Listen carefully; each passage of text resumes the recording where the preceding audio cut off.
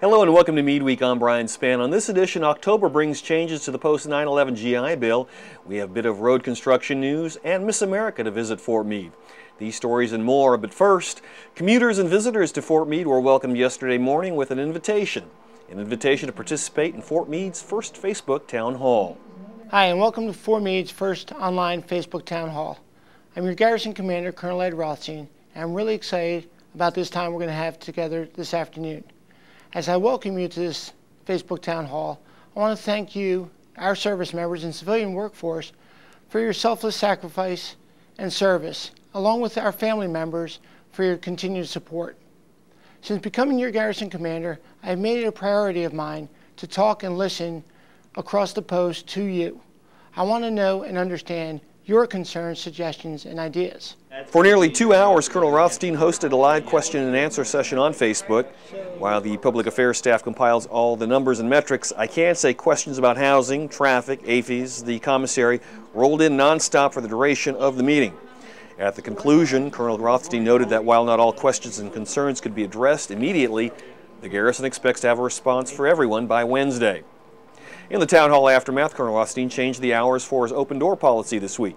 You can take advantage today from 3 to 5 p.m. and on Tuesday from 4 to 6. Normally, open door hours are from 4 to 6 on Mondays. Next week, we'll take a closer look at yesterday's proceedings when I talk with Public Affairs Social Media Manager Jason Kelly.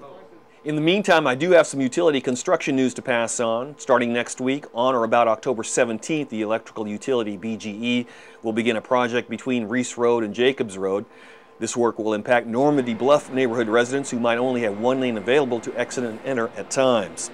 During construction, expect to see lane closures, lane shifts, and flagging operations along Reece Road. According to BGE, the project should take two to three months to complete. In other news, October 9th through the 15th is National Fire Prevention Week. This year's theme, Protect Your Family from Fire. The Fort Meade Fire and Emergency Services is hosting a fire prevention festival on Saturday the 15th we spoke with Captain John Trotman about what we can expect. We're going to have a lot of different demonstrations. It's going to be a lot of fun. We're going to have a live extinguisher um, training. Uh, we have a new extinguisher simulator, which we're really excited about unveiling at the Fire Festival. Uh, we're going to have our smoke house that, um, which teaches kids what to do if you know they come into a room and smoke starts to fill the room, teach them to get out, go get their parents and get out. Um, we're going to have a vehicle extrication demonstration. Uh, we're going to have Anne Arundel County's arson dogs going to be here doing a demonstration. We're going to do a little bit of hazmat with suspicious package, um, some stove fires. It's going to be a lot of fun. Fort Meade firefighters will also be active leading up to the festival, visiting schools and the child development centers. We're also going to do something called the Friendly Firefighter. Uh, when we're wearing all of our turnout gear, we can be kind of intimidating and scary. So what we do is we start a firefighter out in regular street clothes, get them dressed. As we get them dressed, we, we talk to the kids about the different articles of clothing he's wearing. And then the kids get to see a fully dressed firefighter. And then we, we undo the process so that they can see that underneath all that gear um, is just a regular guy. Captain Trotman added that while firefighters are always ready to fight fires, prevention really saves lives. If you can keep a child from being burned, um, from having to live through that the rest of their life, uh, if you can keep an adult from having to go through that, that painful, painful um, healing process, that's really what it's all about. Um, yes, fires will always happen. Yes, we'll always need to respond.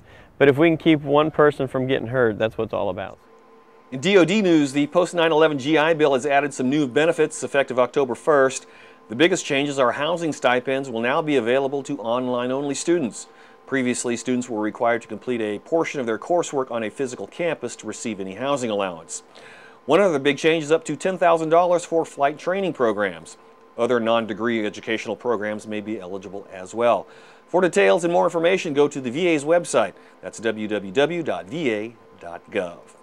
And finally today, Miss America 2011, Teresa Scanlan is visiting Fort Meade on Wednesday. That's October 12th from 11.30 to 1 p.m. at the Freedom Inn Dining Facility. Miss America will be available to meet and greet, take photos, and sign autographs.